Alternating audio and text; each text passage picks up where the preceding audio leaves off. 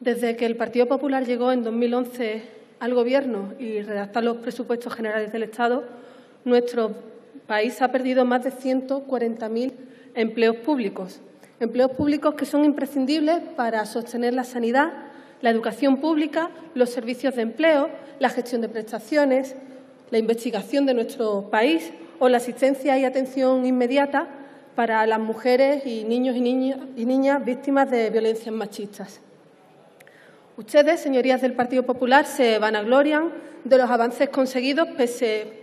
a su Gobierno por las, empleadas y los empleados públicos, eh, junto a, a las tres organizaciones sindicales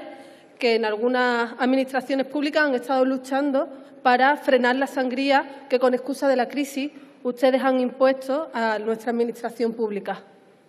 El problema es que a día de hoy ya hemos perdido 140.000 empleos públicos, 140.000 profesionales, y que estos presupuestos no parece que vayan a recuperar y que para mi grupo nos parece imprescindible. Tan imprescindible que en nuestras 15 medidas, eh, las 15 medidas que presentamos en los presupuestos generales alternativos eh, para cambiar el país, eh, se encuentran un plan de rescate para la ciencia y para la I de con la que con la que queremos un incremento de la inversión y el retorno del talento científico con una dotación presupuestaria de 1.100 millones de euros y un plan de choque para acabar con el empleo precario en las administraciones públicas y para abrir una oferta de empleo extraordinaria en la Administración General del Estado eh, de 20.000 nuevas plazas con una dotación presupuestaria de 800 millones de euros. Las enmiendas que hemos presentado a estos presupuestos en materia de función pública eh, se corresponden a tres ejes principales. En primer lugar,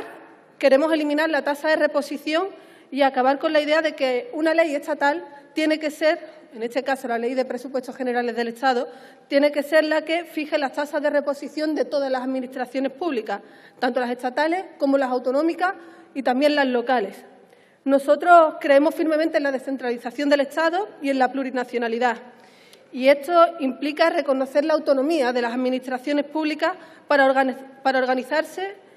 dentro de su disponibilidad presupuestaria y para que sean ellas quienes decidan cómo aplicar el gasto, ya sea a capítulo 1 o a capítulo 2. Y es que, hay que decirlo, la tasa de reposición es una intromisión desproporcionada en la autonomía municipal y autonómica más aún cuando los ayuntamientos españoles han sido los que han permitido, eh, ahorrando 7.000 millones de euros, que España cumpla con el déficit al que Montoro se comprometió con Bruselas. Una regla de gasto y una intromisión del Gobierno central especialmente injusto para ayuntamientos del cambio, como son, por ejemplo, el Ayuntamiento de Madrid, que ha, aportado 1.113 millones de euros a esos 7.000 millones que hemos ahorrado o como el de Barcelona, que ha logrado un superávit de 113 millones de euros, o el de Valencia, con un superávit de 126, o el de Zaragoza, de 110 millones de euros. Esto no debería ser así y, además, la Administración General del Estado ya lo reconoció el año pasado, en julio. Reconoció que era necesario saltarse la propia tasa de, reposición que se había autoimpuesto a sí misma un mes antes con los presupuestos generales de 2017.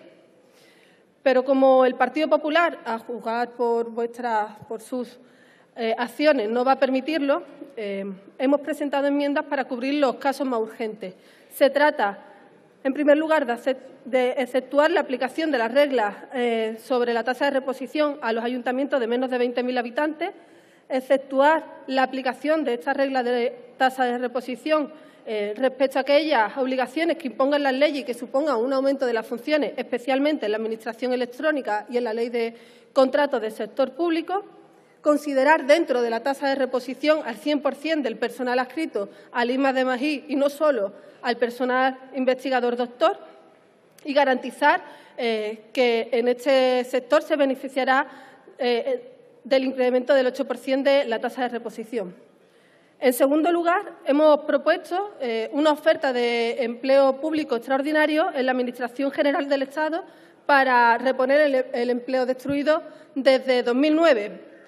Un empleo destruido que corresponde en el periodo de 2008 a 2016 de 41.226 personas, empleados públicos, 4.249 si hablamos de la seguridad social. Y en este sentido hemos presentado enmiendas para incorporar una oferta de empleo público extraordinario eh, que en el marco temporal de tres años sea capaz de revertir la situación en los, casos que nosotros creemos que, son que requieren una urgente intervención. Y estos son los centros de atención a la ciudadanía y de gestión de la seguridad social, 39 oficinas eh, de la Tesorería de la Seguridad Social que solo cuentan con un empleado que tiene que ser un superhéroe, porque si se pone malo esa oficina no se abre y solamente hay que, hay que pensar en la isla del Hierro, donde solo hay una oficina con un solo empleado, los centros de seguridad aérea o marítima, los diferentes organismos de investigación de nuestro país el Ministerio de, Cultura y Deporte y las instituciones penitenciarias. Y, en tercer lugar, un acuerdo de consolidación del, em, eh, empleo público incorporando garantías como considerar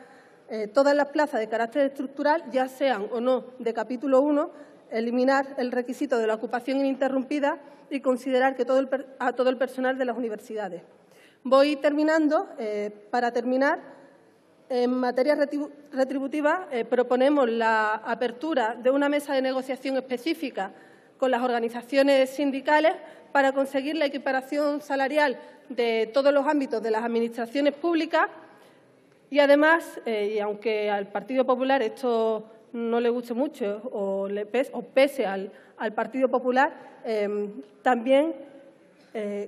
una mejora de un aumento salarial del 2,7% para compensar a los empleados el esfuerzo que han hecho los empleados públicos desde 2010, a la vez que se baja un 5%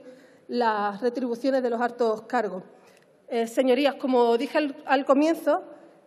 las empleadas y empleados públicos son quienes sostienen la sanidad, quienes sostienen la educación pública, los servicios de empleo, la gestión de prestaciones, la investigación en España o la asistencia y atención inmediata para mujeres y niñas y, niños eh, víctimas de violencias machistas. Presentamos estas enmiendas y les pedimos que las apoyen porque para defender la democracia hay que defender los servicios públicos. Muchas gracias. Muchas gracias.